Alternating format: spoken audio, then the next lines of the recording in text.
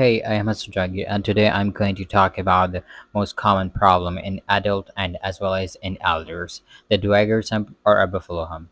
And this hump is caused due to the overbending of a neck while using phone and also the bad posture.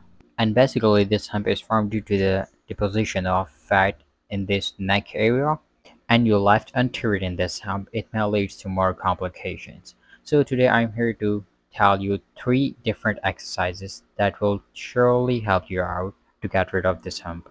So the first exercise is YWTL exercise. And this exercise is help you to stretch out the whole thoracic spine from the top to bottom. So first of all, raise your arms in the air and make a Y.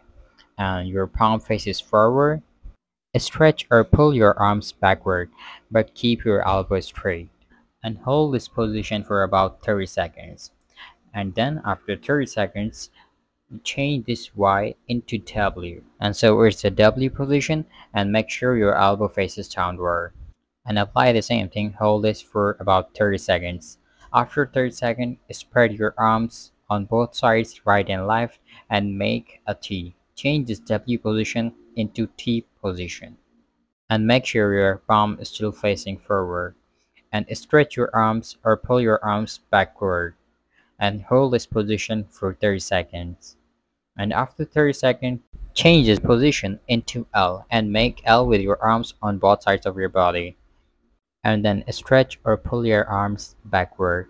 And the same thing, hold this position for 30 seconds. After completing these 30 seconds, your exercise of YWTL has been completed. Now we are moving towards the next exercise.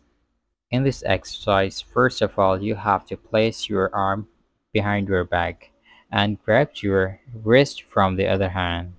And then pull your arms and straighten the elbow and pull your arms backward. Make sure you squeeze your shoulder blades together. And now tilt your neck upward or backward and hold this position for 30 seconds and breathe in and breathe out slowly. And after completing 30 seconds, here we go towards next exercise. And this exercise is really my favorite exercise. So all we need is the wall where you can place or rest your hand or your arm easily. And make sure your arms really high up and avoid the bending of your arm. And when you are doing it for the right side or for the right hand, then move your head towards right side of your body and hold it for 30 seconds or 15 seconds and stretch it towards back or pull your head towards back. And apply the same procedure on your left side. And perform this exercise twice a day to get rid of this hump. And that's all for today. And don't forget to subscribe my channel for more exercises and more precautionary tips. And see you in next video. Bye.